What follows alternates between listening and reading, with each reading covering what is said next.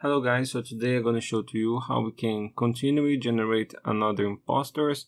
So in this video we're gonna generate more four imposters and these will be just the three examples since this is more larger and works better. So I will create another so I will just put the reference, clear RT and render the frames. Okay, so if you lost the first video, watch out, will be in the playlist for the Unreal Engine 5. And after that, just click in Clear RT and render frames. So every time you generate your imposter, you need to verify in the buffer visualization, you need to check the channels for roughness and for specular. So always try to match the color of the two because in the end will be the same mesh. And you need a seamless transition for for avoid the the difference in the pop-up. Okay? So right here you can put the specific value for match. You need to this is trying in error. Just remember the values is between 0 to 1 and in that way in the buffer visualization you can configure your imposters. Your imposters will be in the far distance so will be okay at distance. Let's move on. So i will put the i will press f2 and ctrl c to copy the name of my asset after that, I will go to procedural mesh and clicking create static mesh. I will choose a place for save my mesh, give a name and clicking save. Okay, so this part is very important. You just need to go to the folder and export this asset. Put in the a proper name and right here in this port you just unmark everything. Okay, so now we can delete this mesh from the editor for avoiding crash.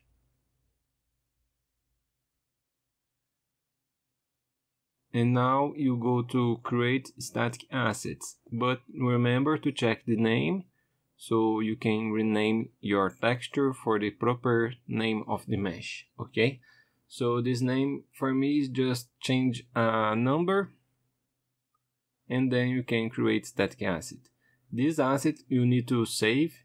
So click in save all and uncheck the level because you have the reference in your BP and sometimes will crash. Okay, so we finish this part and we can render another tree. I will generate all of our meshes and export and generating the texture, the material instance, and then we export. Okay. After that, I will import and configure the distance LOD. So I will demonstrate for you now again with a new asset. Will be this asset 301. I hold Alt for duplicate and put in the same position I will clear the reference and just that. So clear RT and render frames again. Okay, so I will rename my, my assets and I can click in render frame. So I always check the buffer visualization. I will speed this process because it's the same and you can see how I generate all of my mesh. Okay. So it will be the same the same steps, don't worry.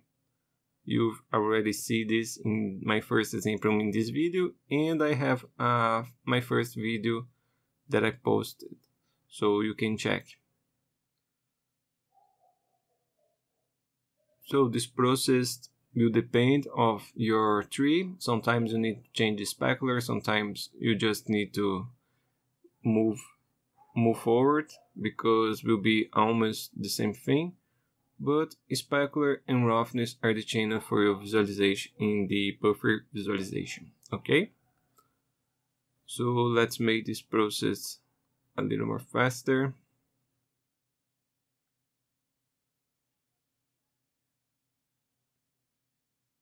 We are in our final tree, okay? So it will be the same thing. Just remember to clear the RT, check the buffer visualization. The colors need to match more in the leaves because in the far distance you only will see the, the leaves of your mesh and not the trunk. So I exported the mesh and I always try to delete after. You see? Okay. So now is the the normal speed and you can verify your BP, you clear the reference and then you delete and save your current level. Or not. I I want to save this level. And you can open the gigantic map. Okay. So in the wireframe as you can see we not put our imposters yet. So are very dense in the wireframe and foliage assets are not supported in the nanite yet. I hope will work soon but let's wait for the updates of the unreal engine 5 Okay, so this level will be optimized using the imposters.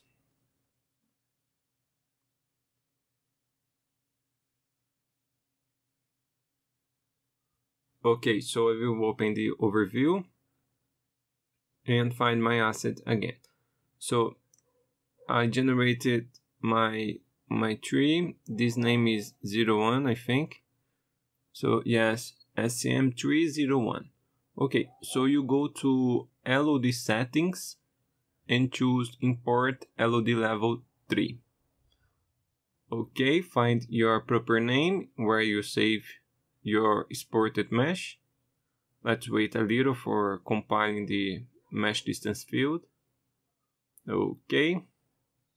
And now we can find where we save our material instance and just copy and paste so is the 01 go to the last material and right here you can see our imposters okay so mesh distance field generate now is a little black for the illumination of the shadow.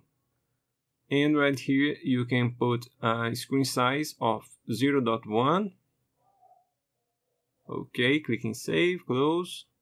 So let's move to another tree.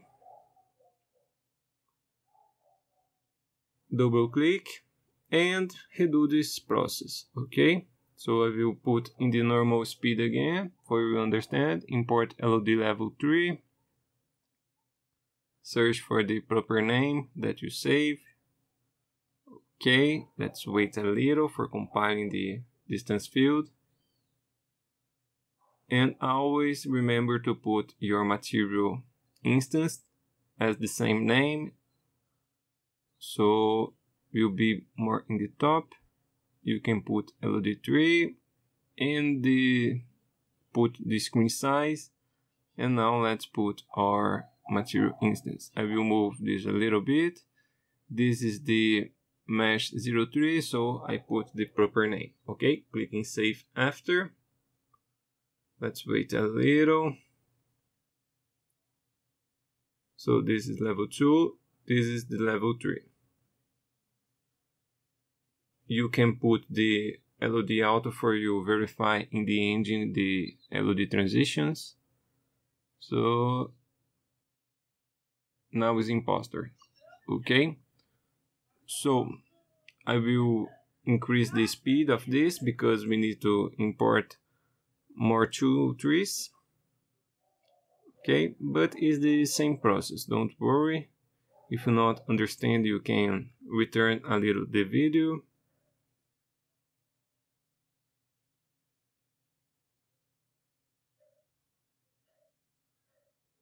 import put the the distance and put the material instance and then clicking in save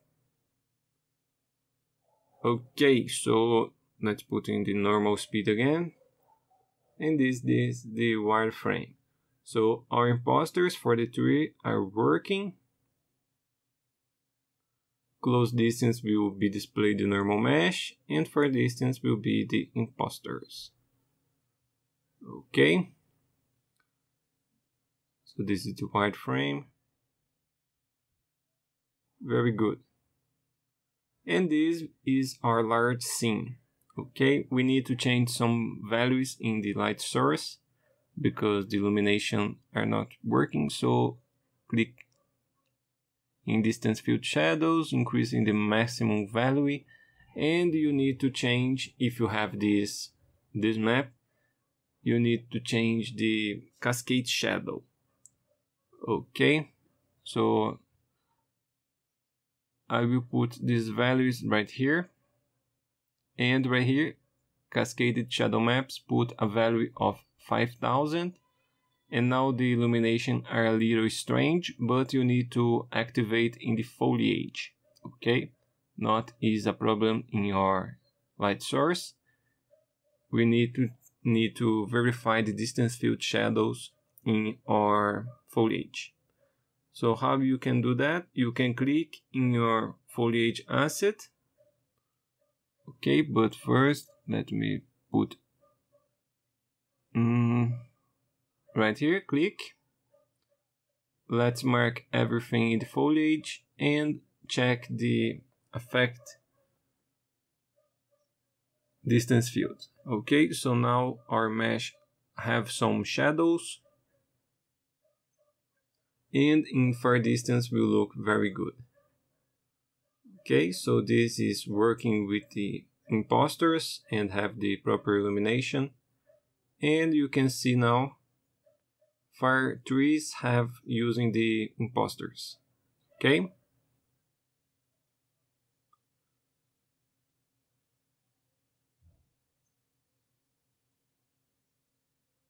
I will check the subsurface. So subsurface are working.